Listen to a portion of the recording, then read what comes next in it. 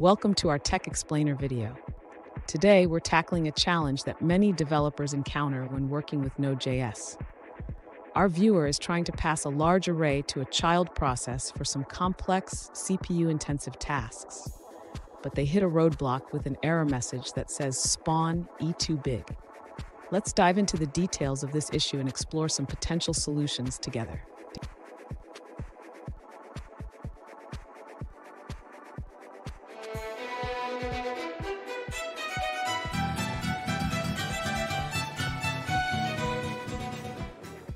Welcome back to another technical video. Today we're going to be going through your question, answering it, and hopefully getting you to that solution. Guys, remember to stay just a little bit crazy just like me and get through to that resolution. Now, let's get started. To begin, we need to understand the issue with passing large arrays to a child process in Node.js. When you try to spawn a child process with a large array, you might encounter an error called E2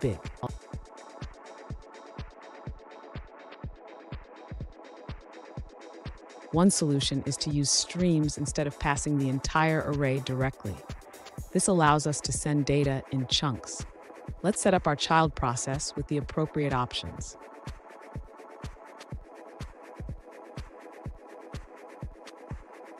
In our main script, we can write data to the child process using a writable stream. This way, we can send our large array without hitting the size limit.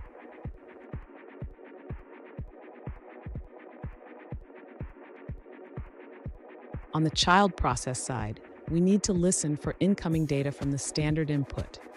This allows us to process the stream data correctly.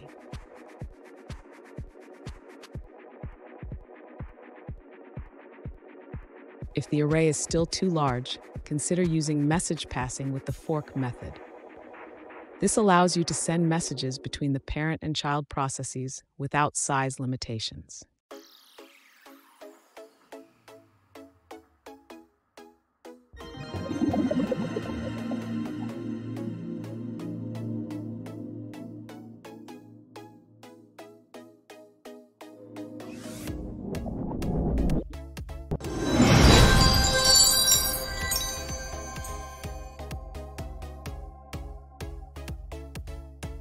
Let's now look at a user-suggested answer.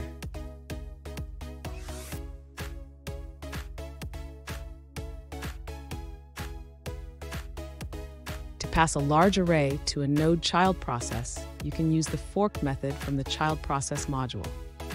First, create your data as an array of random numbers.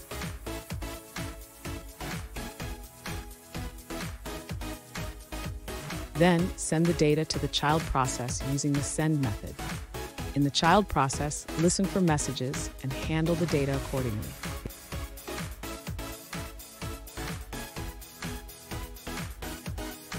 If you're experiencing delays, consider chunking your data into smaller pieces for better performance. This can help with processing time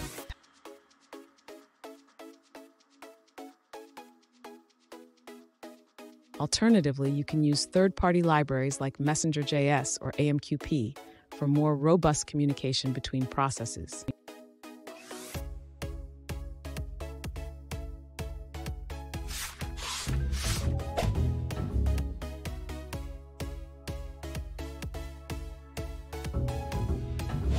Let's now look at another user-suggested answer.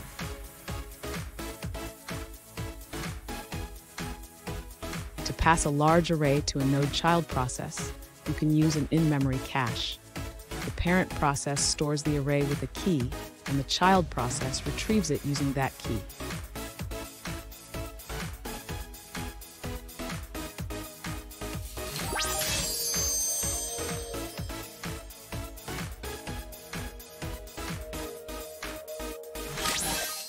Let's now look at another user-suggested answer.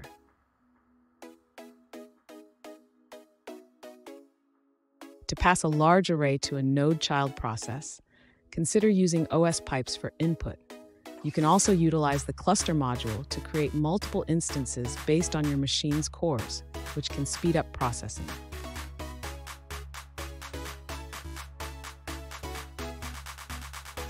If you don't need all data at once, consider using streams. For very large data, store it in a file to handle errors more effectively during processing.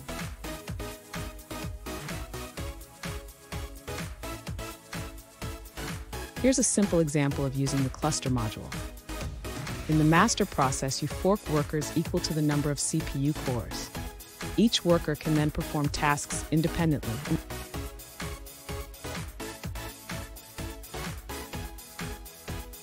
For more information on sending messages across workers, check out the linked Stack Overflow question.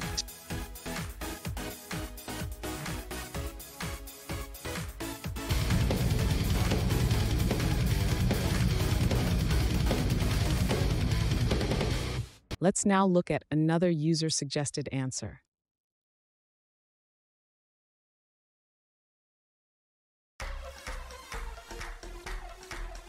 When considering passing large arrays to a Node.js child process, it's important to think about efficiency.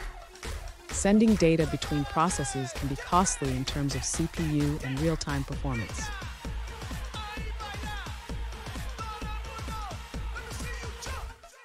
Instead, a better approach is to use a worker thread that operates within the same memory space as the main Node.js process.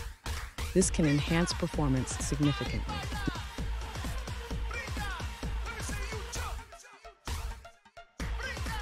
You can utilize the NAN library to write C++ code for your worker thread.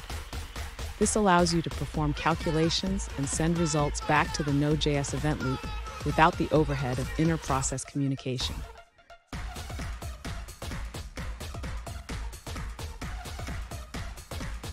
While this method requires writing some C++ code, NAN simplifies the process, handling most of the complexities for you.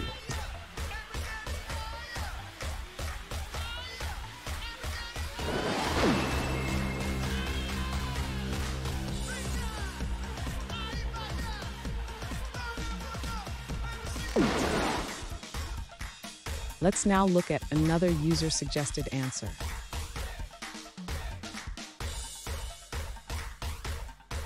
To improve performance when passing large arrays to a child process, save the data to a .json or .txt file.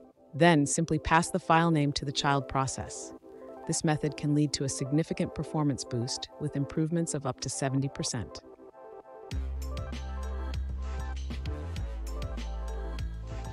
And that's it guys. I hope the video helped find the resolution that you're looking for and you got the answer and worked your way through. If it did, please hit subscribe. I'd really appreciate it.